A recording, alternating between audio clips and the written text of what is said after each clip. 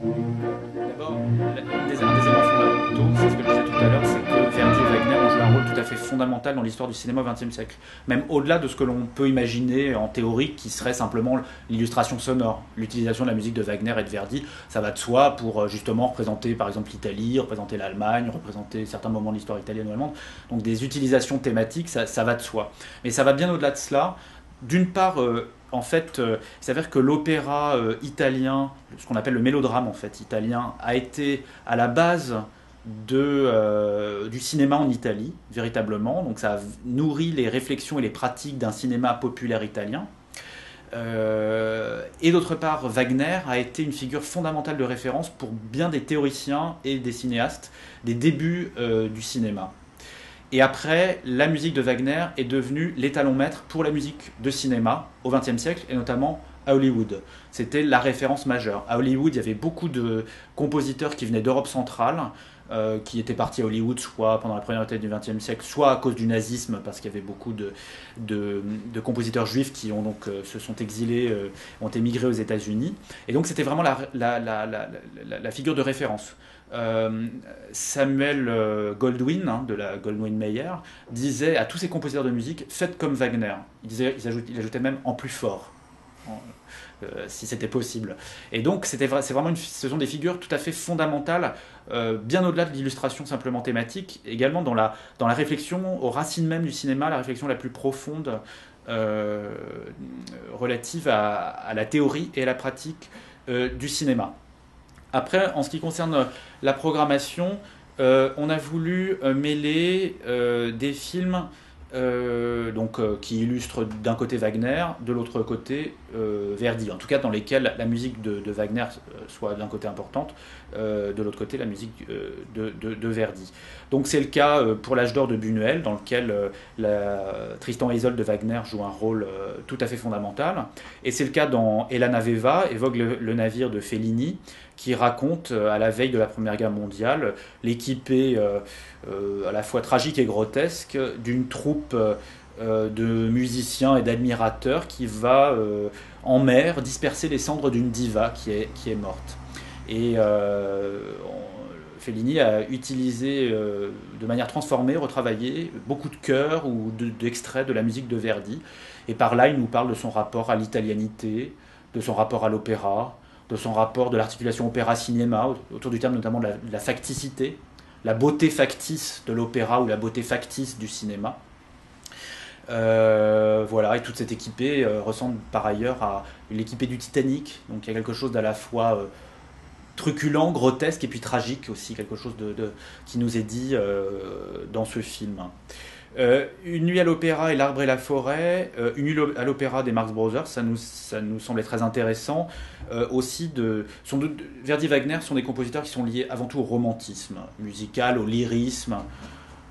Ils ont écrit des œuvres comiques où il y a des dimensions comiques dans leurs œuvres, mais enfin, c'est quand même le summum du lyrisme d'opéra plutôt tragique. Et ce qui est intéressant, c'est de, que, de voir comment ça a pu faire l'objet de, pastiches, euh, de caricatures, euh, souvent des caricatures euh, sympathiques, empathiques, enfin, euh, pas forcément euh, contre les œuvres, souvent c'est plutôt des hommages paradoxaux aux œuvres. Mais donc dans le cas de L'Arbre et la Forêt, c'est euh, pardon, dans le cas d'une nuit à l'opéra des Marx Brothers, c'est ça se passe pendant une, une, représentation du Trouvert de Verdi au Metropolitan Opera de New York et c'est le dynamitage en règle de l'opéra de Verdi, euh, euh, qui, qui, pourtant une des plus belles œuvres de Verdi, qui a incarné, euh, qui est même incarné un moment particulier de la carrière de Verdi. Mais voilà, c'est les Marx Brothers dynamitent tout cela, dynamitent les conventions d'opéra et rendent donc un hommage paradoxal à l'opéra sous cette forme irrévérencieuse. Et puis, alors l'arbre et la forêt. Euh, c'est euh, une œuvre donc euh, des cinéastes Jacques Martineau et Olivier Ducastel, chez lesquels la musique joue un rôle très important depuis très longtemps, depuis le départ. Même Jacques Martineau a fait d'ailleurs sa thèse sur Balzac et l'opéra. Donc c'était c'est un littéraire à l'origine qui a qui, s'est intéressé à ces questions-là. Et puis dès leur premier film, Jeanne et le garçon formidable, qui était une reprise d'une comédie enfin, d'une, euh, du genre de la comédie musicale, d'une certaine façon, à la Jacques Demy, avec euh, Mathieu Demy. Euh, la musique joue un rôle très important. C'est le cas aussi dans d'autres films qui suivent, Coquillage, dans Crustacés et Coquillages, enfin voilà. Et leur dernier film en date, qui date de 2010, L'Arbre et la Forêt, est un film qui est euh, qui, qui, repose sur le témoignage, sur un des premiers témoignages d'homosexuels déportés.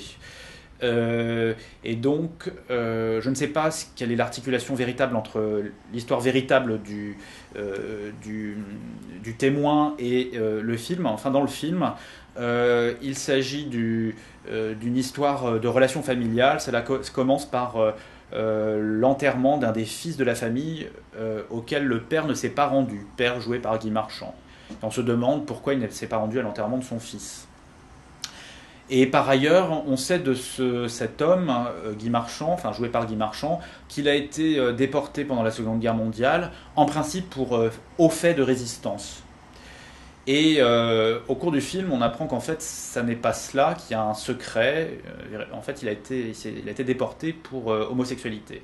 Et c'était un des fameux représentants du, triangle rose par lequel on, on épinglait donc les homosexuels euh, déportés et euh, euh, ayant subi les, sévices du régime concentrationnaire nazi. Et, en fait, donc Guy Marchand ne pas, le personnage joué par Guy Marchand ne s'est pas rendu à l'enterrement de son fils parce que son fils avait découvert cela et qu'il trouvait que ce qui était un fait de gloire se transformait en fait de honte et ne voulait pas que son père le dise, et surtout il avait honte de son père, donc il ne voulait pas qu'il se rende à son enterrement. Par ailleurs, le personnage toujours joué par Guy Marchand possède une, euh, euh, entreprise d'exploitation forestière. Euh, et cela, on en apprend la cause, c'est que dans les camps, il s'est dit que s'il survivait, il planterait un arbre. Et donc il met cette promesse à exécution en sortant des camps, et puis donc, euh, enfin, se lance dans l'exploitation forestière. Et enfin, le dernier élément majeur, et qui occupe finalement toute la bande-son euh, du film, c'est que c'est un passionné de Wagner. Il est passionné de Wagner, et le film, des personnages dans le film, et du même coup le film, pose de façon très fine et très élégante la question paradoxale suivante comment continuer à être passionné par Wagner alors même que l'on a subi des sévices d'un régime qui avait fait de Wagner son compositeur officiel. Donc ce qui est très intéressant dans le film, c'est euh, face à certains propos tout à fait caricaturaux à l'égard de Wagner aujourd'hui, tantôt il y a ceux qui euh, veulent masquer l'antisémitisme de Wagner, la récupération par les nazis 50 euh, ans plus tard, etc. Tantôt il y a ceux qui ne veulent parler que de cela et qui écrasent Wagner sous, ce, sous cet unique élément.